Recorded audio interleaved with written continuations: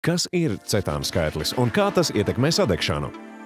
Dīzeļdegvielas cetāna skaitlis ir ļoti nozīmīgs sadegšanai, bet kā tieši tas ietekmē dzinējā notiekošo? Benzīna dzinējus bieži sauc par dzirksteles aizdedzes dzinējiem.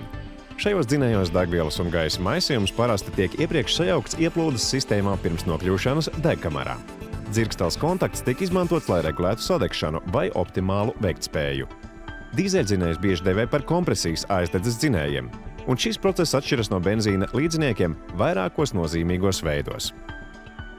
Dīzeļdzinējā gaiss tiek ievadīts degkamerā caur ieplūdes sistēmu, bieži vien ar palielinātu spiedienu pateicoties turbo pūtei.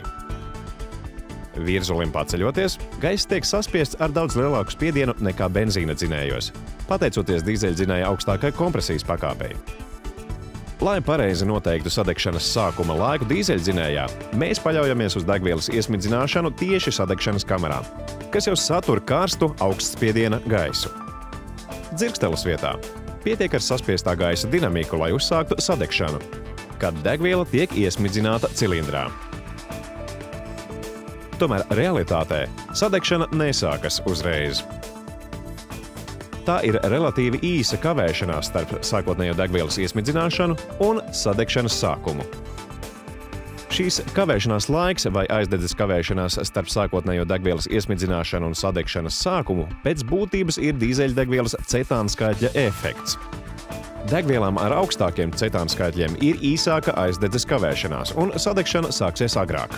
Un parasti tas piedāvā labāku dzinēju veiktspēju. Tas var veicināt vieglāku iedarbināšanu, mazāku balto dūmu apjomu iedarbināšanas laikā, zemāku trokšņu līmeni un mazāk kaitīgo izmešu.